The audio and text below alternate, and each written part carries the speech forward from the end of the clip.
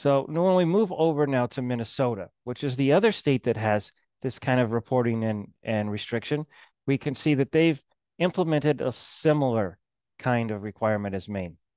They've done it in a different way, though. They added it to their main appropriations bill in 2023 instead of creating a specific law saying, hey, we're going to restrict PFAS. They simply added as, as a line to their state budget.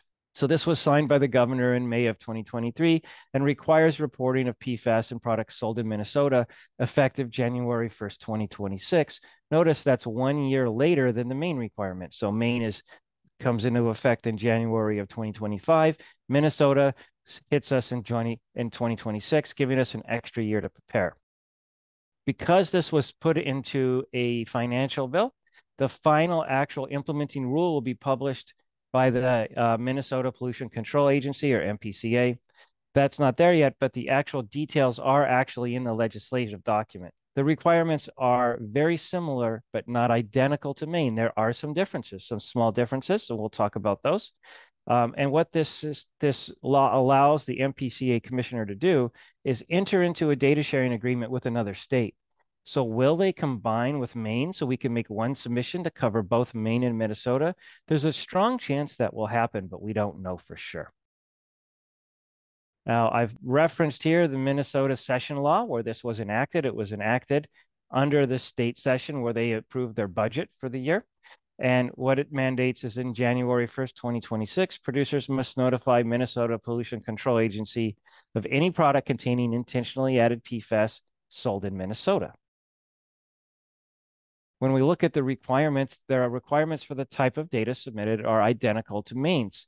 The brief description of the product, the purpose of the PFAS in the product, uh, the amounts, the identification, and then the contact information of the person at the manufacturer who, who can be followed up with by the authorities if needed. So this is exactly the same as Maine, which is why it looks very strong that hopefully they'll enter into a data sharing agreement and allow us to make one submission for both. However, there are some differences between Maine and Minnesota. For example, in the current legislation, there's no packaging exemption or small company exemption listed. Will the final implementing regulation mirror Maine and apply those? We don't know for sure, but under the current legislation published in the current uh, um, state legislature, it's not. Those are not there, right?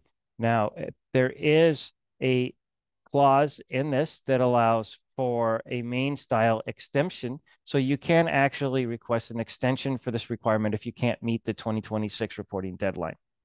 Another difference between Minnesota and Maine is that Minnesota can mandate that you provide test data. If they think you're selling a product in Minnesota and you haven't made a notification to them, they can mandate that you provide them test data to prove that there's no PFAS present.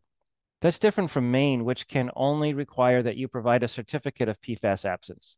When we look at the PFAS restrictions, we can see the same kind of restrictions that we saw with Maine are coming to effect in Minnesota, where in January of 2032, basically all products prohibit uh, the use of PFAS unless the use can be deemed unavoidable by MCPA.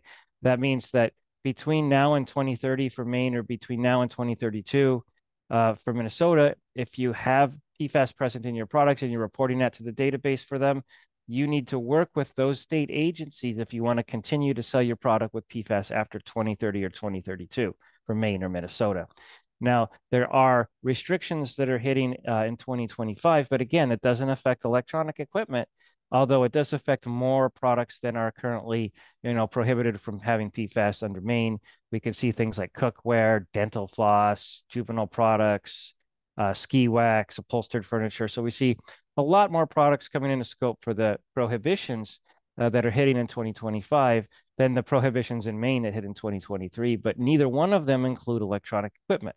So really, it's the 2032 date we're concerned about for Minnesota and the 2030 date we're concerned about for Maine. Watch the full-length video and gain access to our full archive of educational webinars at greensofttech.com/videos. And while you're there, learn about our premier solutions for environmental regulation compliance.